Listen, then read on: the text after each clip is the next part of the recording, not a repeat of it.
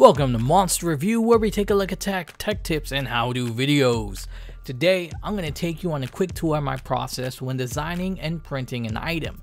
So the first thing I do is identify a problem. My ride or die just purchased me an Insta360 X3. Huge shout out to her. I do intend on using the camera in future videos, however, I use a DJI Mic 2 system. Link for that review in the right hand corner.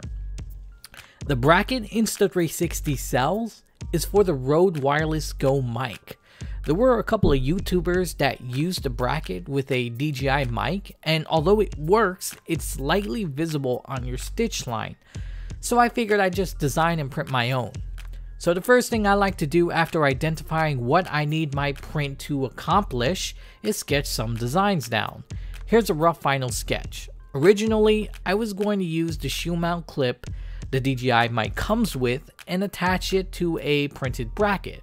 But while designing the print, I opted for an enclosure design instead to minimize the mic receiver from showing up on the X3 stitch line. I also wanted the screen to face away from the X3 so I can check my audio levels the auxiliary wire, it made more sense to route the 3.5mm wire from the bottom of the receiver going to the top where the mic module is connected on the X3. I figured that would be an optimal route, keeping the cable stiff and out of sight from the X3 stitch line. Now the sketch isn't an important process. There were things that I ended up changing while designing the print, but sketching gives you a baseline of what you need. It's a good starting point, which is why I recommend. So now that I have a baseline, I jumped into Microsoft 3D Builder. It's my go-to designing software, and let me tell you why. Number one, it's free. And number two, it's easy. Free and easy, my two favorite things. Yeah, it's not as feature rich as some other programs, but because there aren't so many features, it gives you the very basics to play around with. It provides you with spheres, pyramids, cones, wedges, and cubes, and you can manipulate them into whatever you want to create. And because of that, it's super easy to use with a design like this. My design was created with nothing more than cubes. The challenging part was getting the precise measurement for the auxiliary port and the screen on the DJI mic receiver. For this, I use a electronic digital caliper. For the most part, it does a great job like figuring out the size of the box to house the receiver. But for the auxiliary and headphone ports, well, you'll see what I'm talking about later on. After designing, it's time to print.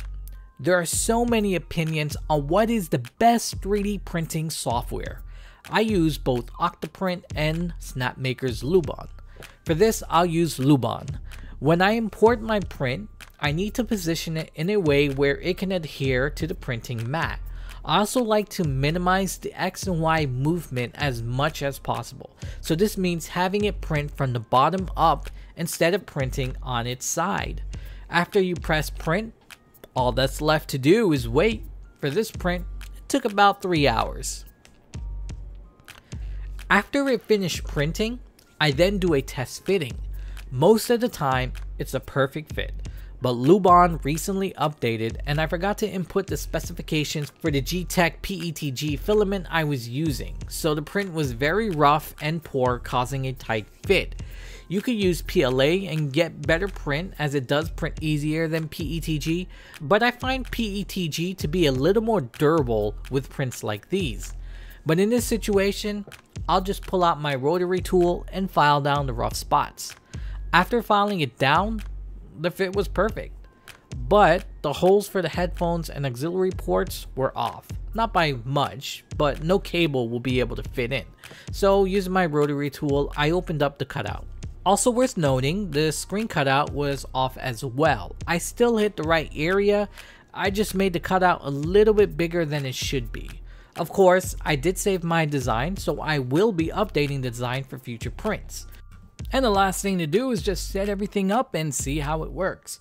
I could not be happier with this print. Sure, it's not high quality and I do see it breaking in the near future, but it works. It functions exactly like I wanted it to.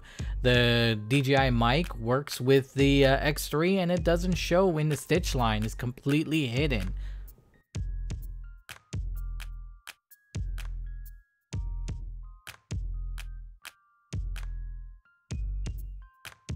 And there you go. That's basically my design and print process. And unlike the bracket that Insta360 sells you, that's for the Rode uh, Go mic, this one uh, works very well with the DJI and keeps it completely hidden from uh, the 360 cameras, as you can see here. So, uh, mission accomplished. Thanks for watching. I hope you found this video helpful. If you did be sure to give me thumbs up. If you didn't find it helpful for some odd reason thumbs down will work also. And i hope this inspires you to i don't know maybe get a 3d printer and start designing and printing things yourself. This 3d printer is probably the best investment. Anyway catch you in the next one. Peace